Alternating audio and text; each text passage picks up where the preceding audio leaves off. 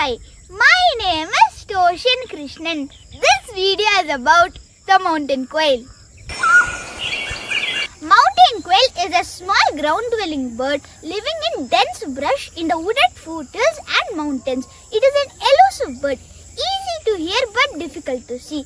A hiking trip into the mountainous backcountry is a good way to hear their loud squeaky whistle.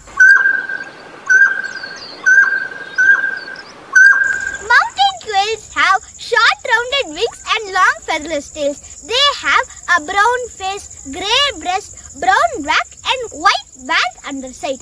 Mountain quails are easily identified by the top knot consisting of two straight feathers which look like an exclamation point on top of their head.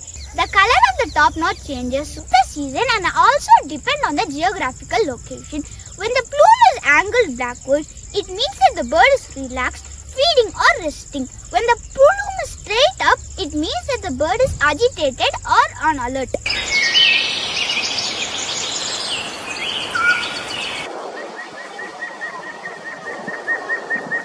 Mountain quails are diurnal and spend most of the time on the ground. They primarily move about by walking and move quickly through brushes.